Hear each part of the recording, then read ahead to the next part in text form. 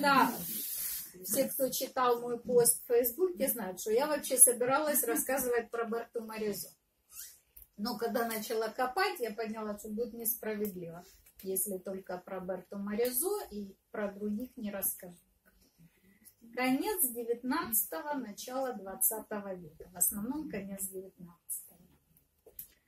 В семье Берты Морезо, вот если вы будете про нее читать в интернете, вы ничего не поймете ни про нее, ни почему она стала импрессионисткой, вообще ничего не поймете.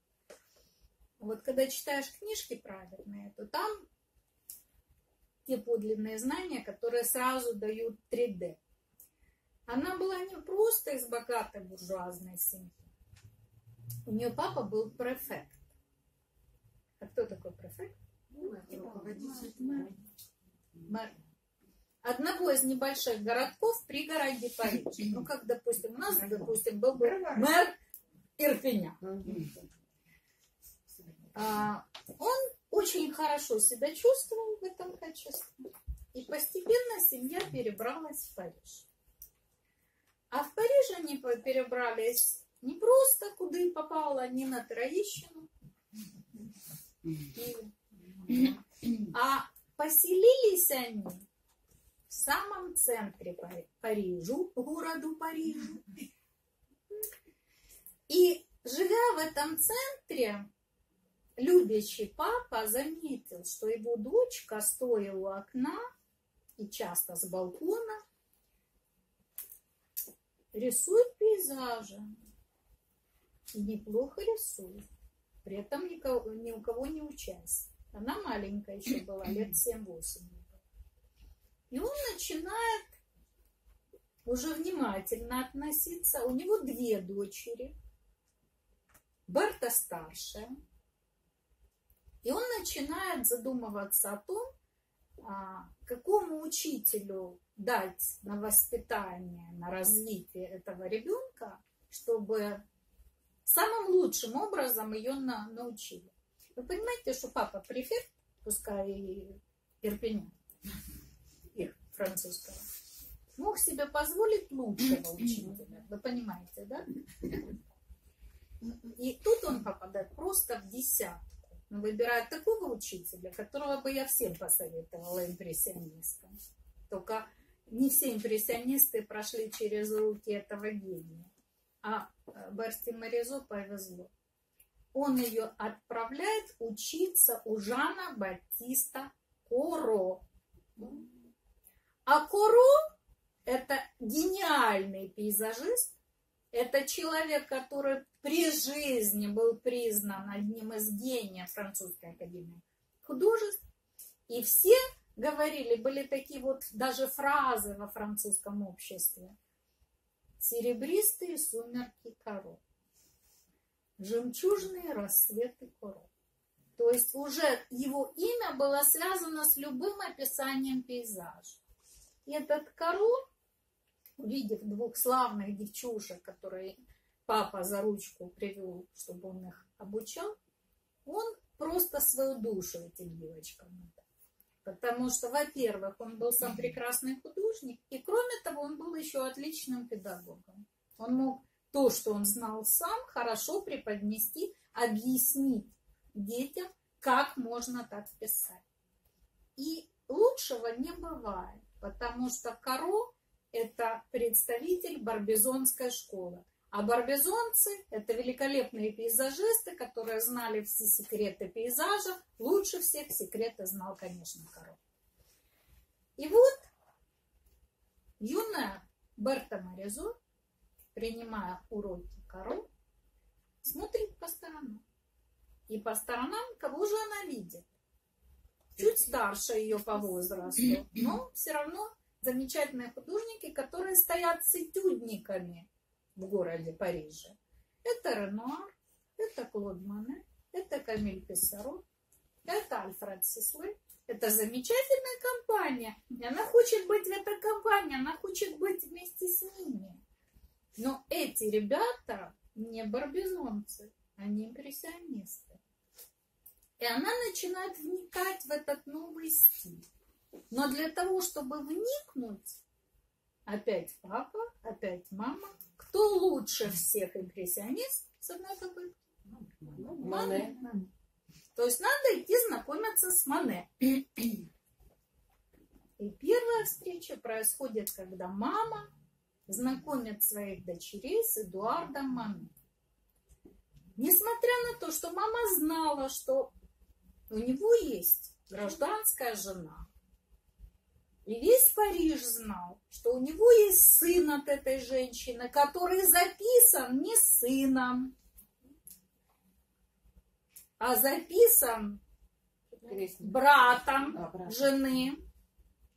То есть, потому что папа у мамы строгих правил. Если бы он узнал, что не женившийся сын прижил уже незаконнорожденного ребенка, то отлучил бы Эдуарда Мане и, так сказать, э, от всех богатств, потому что он тоже был из богатой буржуазной семьи.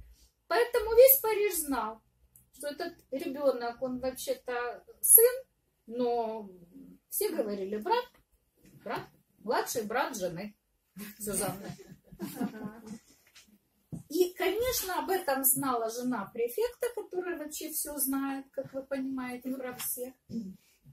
И в этом смысле вроде безопасно. Ну, на всякий случай мама ходила, пока Эдуард Мане обучал Берту, ее сестру, а, искусству, мама сидела, вот тут я, а вот тут моя мама. Но несмотря на присутствие мамы, потом вместо мамы какой-то период начала ходить такая дуэнья, я ее называю женщин такого плана, ну, такая приживалка, которая живет при богатом доме. Ее задача, чтобы девочек не совратили, она всюду с ними ходит. Между молодыми людьми возникло чувство. Ну, не совсем молодыми, им уже было под 30, а ей было в районе там 20 с хвостиком. А, я на, прошлом, на прошлой встрече говорила, у Мане был такой друг, журналист, литератор, культуролог Антонен Пруст, который описывает, что он однажды встал, а, когда Мане писал вот один из этих портретов, он много писал Берту Морезо, он встал на линии огня, как он говорит. То есть, с одной стороны, на него смотрел Мане, а с другой стороны, на него смотрела Берта Морезо, которую портретировали в эту секунду. И Антонен Пруст говорил, что у меня было такое ощущение, что меня пробил, а, пробила молния. То есть они смотрели друг на друга с такой любовью и с такой а, жаждой быть вместе, что, так сказать, ни- никакая дуэня, никакая мама не мешала этим взглядам. Но Берта Морезо, как и ее сестра, была воспитана в строгих пуританских традициях. И она сказала Мане в один из моментов, когда им удалось поговорить без свидетелей, я никогда не стану вашей любовницей, только женой. Он же не был женат на Сюзанне, понятно, да? То есть он был по документам официально свободным мужчиной.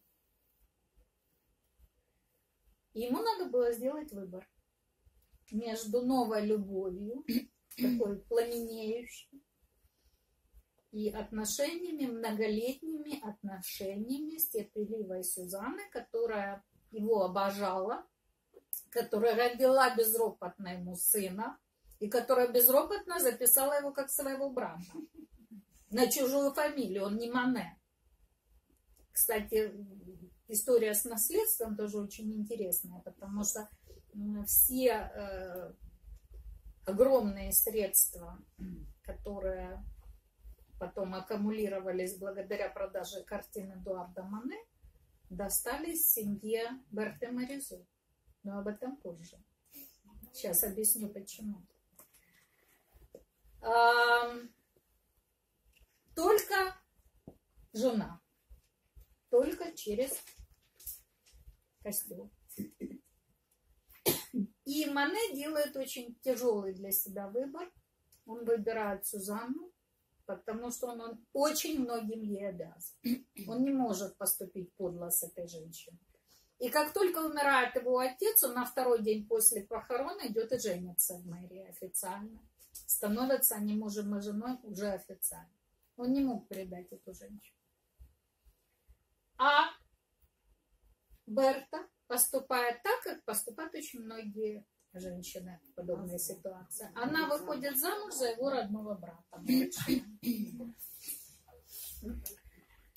А тот ее обожает.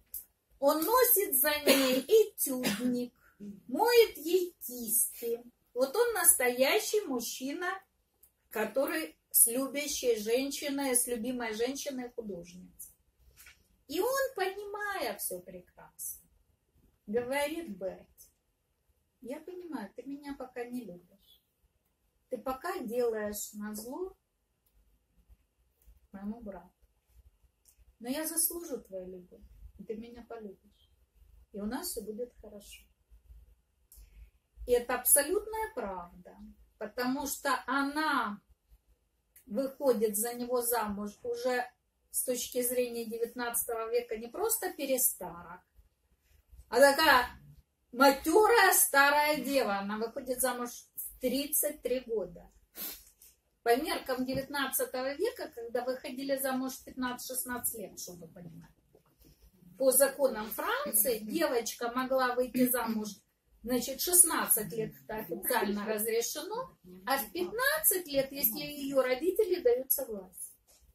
То есть 15 лет уже могла выйти замуж. 33 года, как вам это? И у них рождается девочка, долгожданный ребенок, когда Берти исполняется 38 лет. С точки зрения даже сегодняшней, это совсем не рано. Прямо скажем. И вот несколько картин, посмотрите. С одной стороны, вы теперь поймете эти картины тоньше, чем без моего рассказа. С одной стороны, божественный перламутровый король, а с другой стороны, Эдуард Мане, который любил и который ей преподносил уроки так, чтобы она была лучшей художницей-импрессионисткой.